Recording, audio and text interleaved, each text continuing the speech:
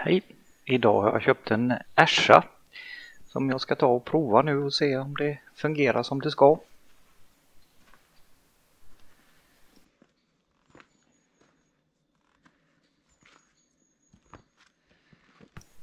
Ashan har ett, eh, en eldriven fläkt som eh, ska testa att det fungerar. Jag ska ju bara prova funktionen så jag använder min hemmagjorda träkol. Och vi ser hur det fungerar.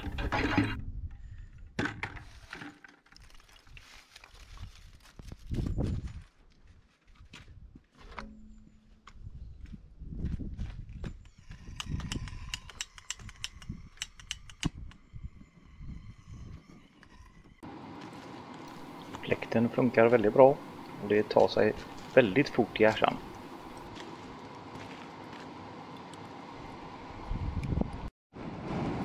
Efter några minuter så är det full glöd på det.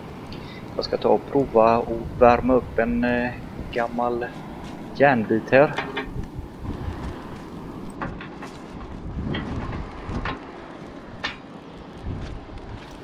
Det drar en hel del kol när man använder vanlig träkol.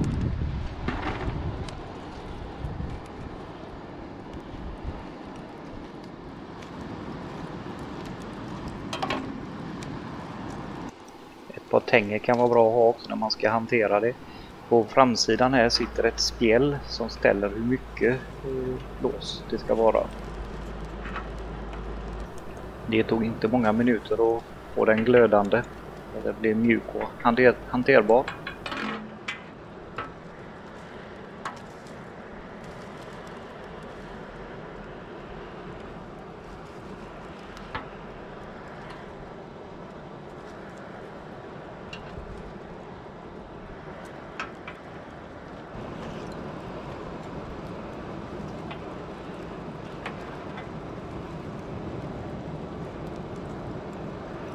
Här har stången blivit helt vitglödande, väldigt mjuk och lätt att hantera.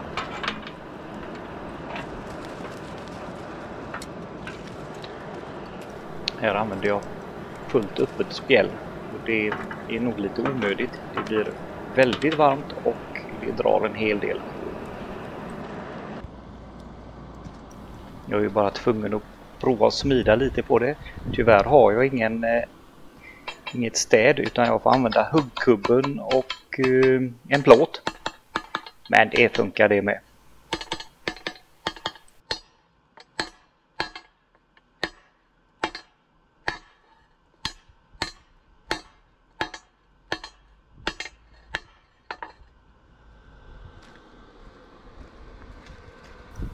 Man får ju prova lite till när man ändå har grejerna igång.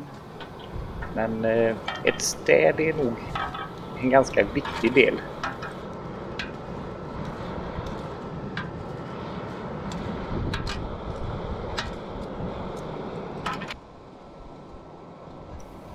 Men helt klart är att det, fungerar med hemmagjort träkol också.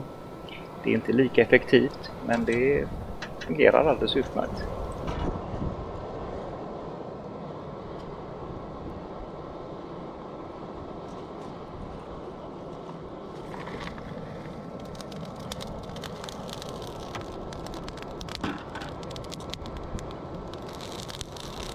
Gick åt cirka 15 liter träkol på en timme. Det hade gått att snåla ner det lite.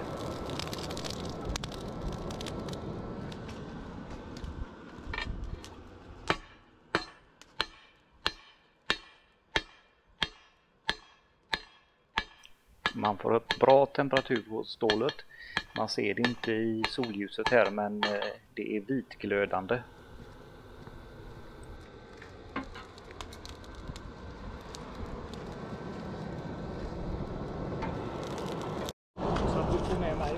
Ja, jo, jo, jag ska bara försöka så att det hela jag skuggar allting. Ja, det gör inget. Ja, men det är jätteroligt.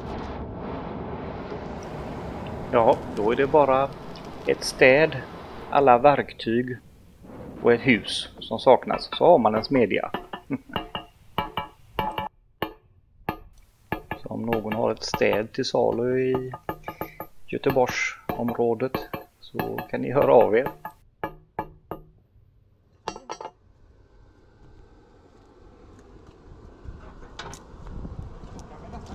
Här leken som